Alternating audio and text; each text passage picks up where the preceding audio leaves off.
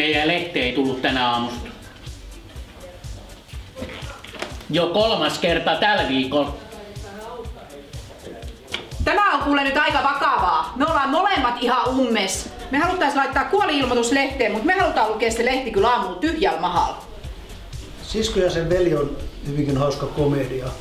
Harmittaa vain, että piti tulla Englannista joku ihminen tekemään hauskaammista suomalaisista. Siis tarkoitan, että tosi hauskaa, että sieltä Englannista tuli joku tekemään hauskaa.